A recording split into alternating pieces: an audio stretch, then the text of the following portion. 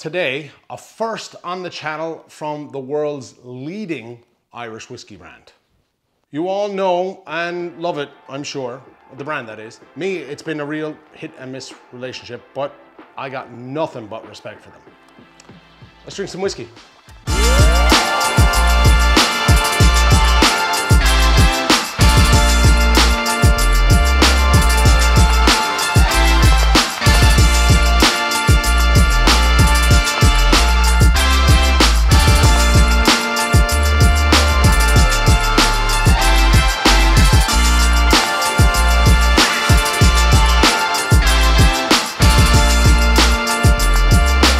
Welcome to Whisky and Whiskey. I'm the Whiskey Chaser Brian here in Christy's Bar, Kilkenny. Hope you're doing well.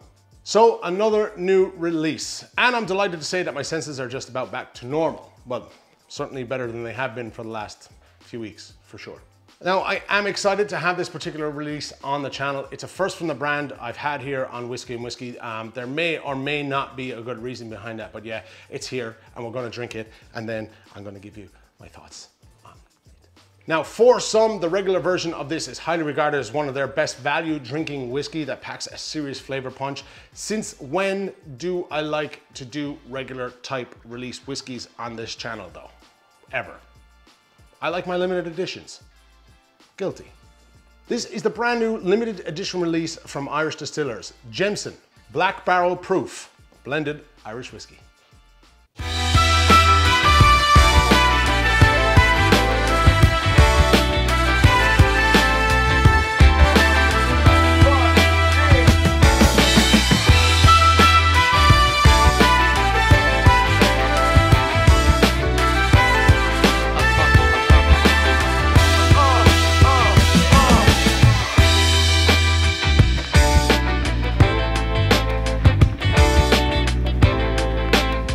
So what's the deal with this being the first Jameson I've had on the channel, I hear you say? Don't know how this is gonna go down, but admittedly, I'm not the biggest fanboy when it comes to Jameson products. I know it's the best selling Irish whiskey in the world, and they do have some seriously amazing releases. I'm not branding all them under the one umbrella that I don't like, but in general, uh, the kind of core range stuff doesn't really excite me very much. And that still holds true to the non-cask strength version of this release. Um, I'm not the biggest fans of that either. Um, but you know, teach their own, right? At least I'm honest with you. However, it wasn't until I was at a friend's wedding some years back where the second day party was kicking off. Big deal here in Ireland. And the groom decided he would break out a bottle of whiskey that he and his new wife had recently filled on a distillery trip. Naturally, my curiosity was aroused. I was ready to partake. I was in the mood. The bottle was taken out of its custom packaging and laid gently on the table. Then glass is divided up to those who would be partaking in a sample. Up until this point, I had no idea you could bottle your own version of that at the distillery until it was explained to me that the cask strength version of the very popular Black Barrel release was a distillery only exclusive where the purchaser had the opportunity to fill and label the bottle themselves. Kind of a whole experience type of thing. Me not being a huge lover of the original release was a little skeptical. Still, I had the opportunity to try it, so I wasn't going to let that pass naturally. Who's gonna turn down free whiskey? Anyway, long story short, I had a glass and wow, I have to imagine that was, that was definitely a eureka moment. My opinion immediately changed on the whole thing. Blew my mind. And I'm guilty of preferring a cask strength offering in general. But this was wow. So tasty, I remember fruity, floral. It was beautiful. I liked it so much, I actually took a trip down to distillery one day and filled a bottle for myself and my sister. Here's an awkward looking picture of me at the distillery pretending to know what I'm doing while filling the bottle. There might be another one on the screen now. Anyway, that's a bit of history, but the general talk from people in the whiskey world was of why Jameson don't bring out a cask strength version of their Black Barrel release as a release that you can get not just in this distillery. I mean, anyone who had the cask strength version from the distillery absolutely raved about it. So it didn't make much sense. Those fans' voices have been heard. And here we are.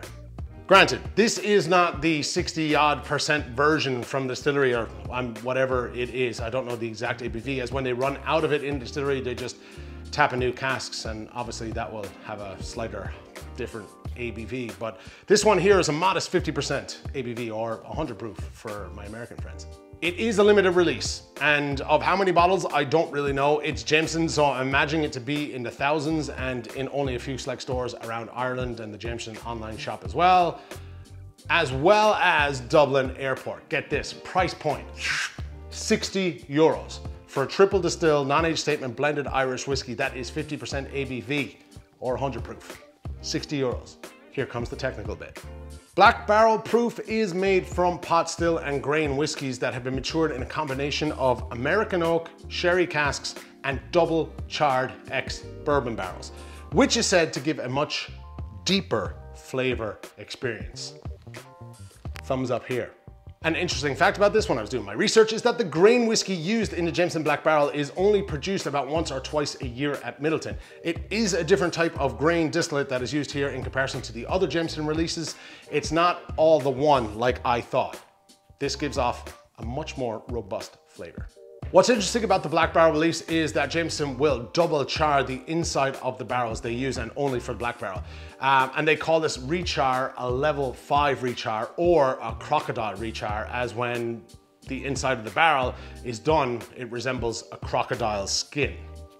Again, focus here is on robust flavors and big interaction between spirit and wood. This is the only whiskey that Jameson will double char its casks for.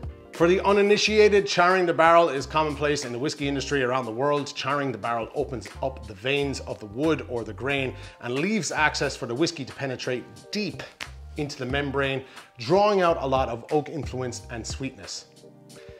It's like almost a caramelizing and crystallizing of all those sugars, which will have a massive influence on the whiskey over time. So let's keep this short and sweet. You see what I did there? We're gonna get it in the glass. We're gonna have a little taste. I like being the seal breaker. Before I do that, as I always do at this point, if you liked any of that information and want to keep up to date with some of the best Irish whiskey releases, be sure to give me a now follow and a thumbs up, particularly if you liked any part of this video. Mucho grassy ass. Also, doing a calendar for charity purposes. One euro of every sale goes to charity. It's Distilleries of Ireland 2022 calendar, which features the one and only Irish distillers in Midleton, County Cork, where, see this here? It's the home. It's the home of Jameson. Right, technically Bow Street was, but anyway, it's, it, this is the new home of Jameson. I'll leave a link below where you can find out and get one. And we pour.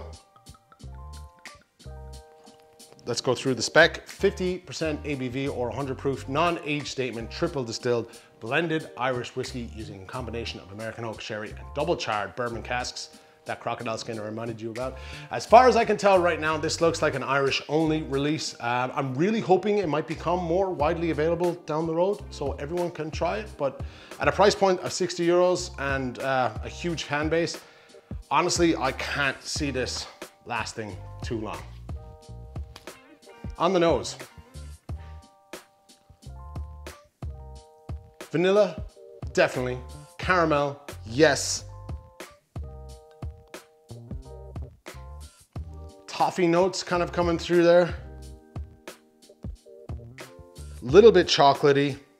Comes across as a touch thin on the nose. Touch, not massive.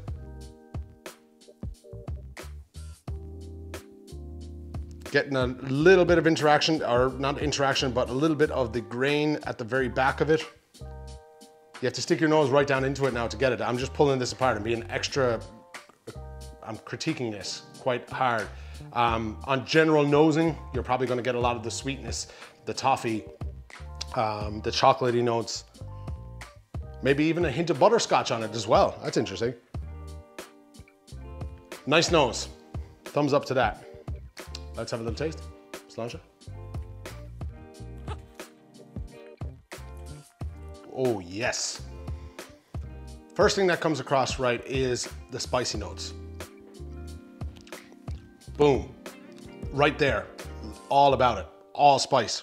Uh, not all spice, but very, very spicy. Underneath that and intertwined with it is two things. I got butterscotch. So apparent on the palate, not so, yeah, I really had to search for it on the nose, but on the palate, that stands out along with some real kind of um, vanilla bean kind of sweetness. That, those two notes stick out the, mo the, most for me. Not as thin as the nose might suggest. Um, it's, it's, it's quite robust. There's a lot going on there. Medium complexity, I would say, me, small to medium complexity. I, I, you know, um, lovely vanilla and butterscotchy finish on the, on the, oh, I'll get to the finish in a minute, but kind of a small to a medium complexity, I would say. Whereas the palate kind of evolved a little bit there from the initial spice. Yeah, anyway, let's have another little sip, Sláinte. Touch of the wood at the end, kind of a, a charry note. Um, not smoky, but like a char. But again, your toffee, vanilla, spice. Um, not getting any youth elements to it there, I don't find particularly. But really like, it's like the Jameson regular black barrel turned up to 11 with the proof. The finish. This is interesting. This is where the vanilla really comes through and shines through and the finish in the palate. And I want to say a touch of butterscotch, but it's more, the vanilla is definitely stronger. It's definitely more apparent. It's more obvious. It's quite robust. I mean, it really is. Nice hang time on it, still going. Not incredibly dry either. It doesn't dry out the mouth, it's not puckery. It kind of leaves a nice little bit of a kind of richness to it, to your, to your palate. 50% ABV, 60 euros.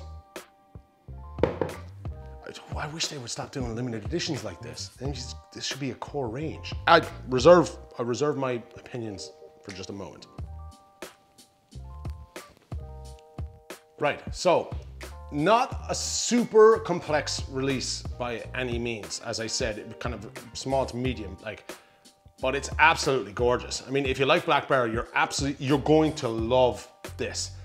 I would love to see this as a core range release, I think, for Jameson. The Black Barrel has a wide fan base and having this as a core range product would certainly open it up to more people and ultimately gain an even wider fan base for this particular whiskey. And I'm not blowing smoke. I do genuinely think it's that good. I'm like, I'm not hugely partial to the regular 40% ABV version of this release. It just, it doesn't really do it for me.